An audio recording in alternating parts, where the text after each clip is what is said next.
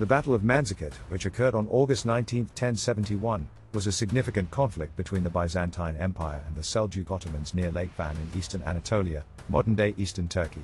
The Seljuk Sultan Alp Arslan led the Ottoman forces, while the Byzantine Emperor Romanos IV Diogenes commanded the Byzantine troops. At the time, the Seljuk Ottomans, under the leadership of Tughril Beg, had expanded their power into Christian Armenia, a dissident Byzantine border province. Turkish forces had started to penetrate central Anatolia and even reached the eastern Aegean Sea, posing a threat to the Byzantine Empire.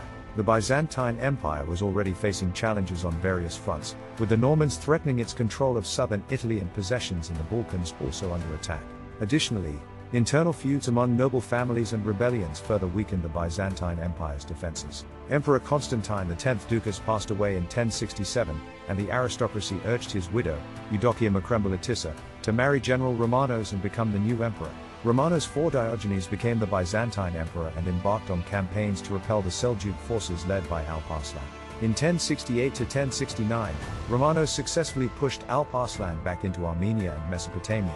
He also defeated the Ottomans in the Battle of Heraclea in 1069 and regained control of Armenia, except for a few Seljuk fortresses. However, in 1070, Romanos shifted his focus to Italy, where he had some success against the Normans but was compelled to withdraw due to a renewed Turkish threat in eastern Anatolia.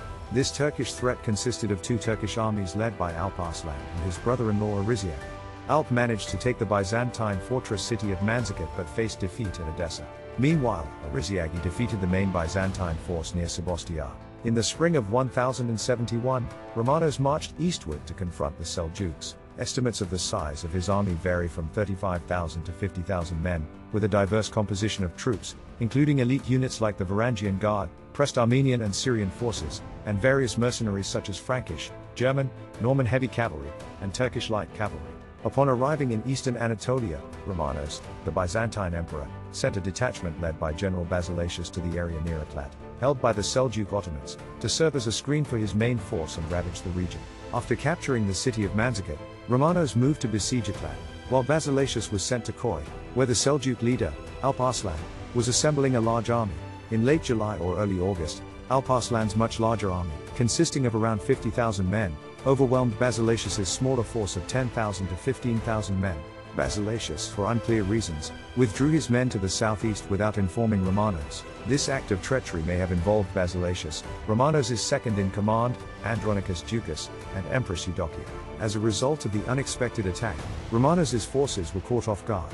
The Ottomans were mostly mounted and consisted of skilled horse archers. Romanos' heavy cavalry, known as cataphracts, with their combination of missile and shock tactics, would have been formidable if properly prepared.